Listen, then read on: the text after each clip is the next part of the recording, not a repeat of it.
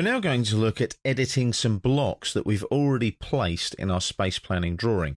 Now, you know the drill. I've got editing blocks complete open. If you want to follow along with the video, you need to open up editingblocks.dwg. Now, you should know that drill by now. Always use the drawing without the complete suffix from your working files. We're still in the ground floor. I'm going to zoom in on the workstation block there that I created by nesting those two blocks together. So there's the workstation block there. Now, what I can do is I can utilize a wonderful tool in AutoCAD called the block editor. So if I now go to the insert tab on the ribbon, there's the block definition panel and there's block editor right there.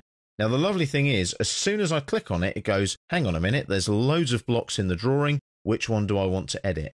Now, if I scroll down, there's my SP, space planning ones, and I want workstation one. I click on OK, and that will open up the block editor. Now you'll notice the screen changes and the ribbon changes, and also you get this palette here, the block authoring palette. Now that's for dynamic blocks. Now you don't need to worry about your dynamic blocks at the moment. We're not going to use those for space planning purposes. We might utilize the occasional dynamic block for perhaps desks and chairs and things. Now you'll notice these are actually blocks so if I click on that block here, what happens to it in the block editor? Well, you can see there that there's lots of different parameters and actions in that block because it was originally a dynamic block. So what I can do here, I can click on this grip here, for example, and I can actually rotate my chair. So if I rotate that chair to about there and take it to that corner there, can you see it updates within the block? And then I can click on the grip and maybe move that chair up a little bit as well, like that. Now I'm going to hit escape there now and do the same with this one and click here and bring that round to there.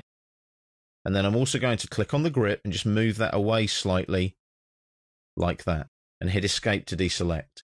Now I've updated the contents of that block, which is my workstation block. Now that's all I've done. I've just updated using some of the grips and the parameters. What I need to do now is save that block and come out of the block editor. So I go up to save block here. That will save that particular block. And you can see that at the bottom there, B save, block save. And then I close the block editor.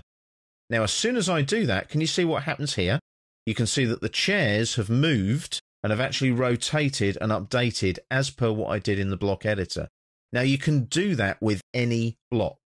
Now you'll notice here I've got a room description, RM003, and it's an office and it's the reception area. I can also go into the block editor again and select one of those. So if I go SP room and click on OK, that'll just open up and show me those attributes that I used to actually create that block for the room descriptions. Now I could change the text height or perhaps even the font but I don't need to in this case, so I can actually close the block editor. I don't need to make any changes. But you could edit any block that you're using for your space planning by using that particular function, the block editor function on the block definition panel on the insert tab on the ribbon.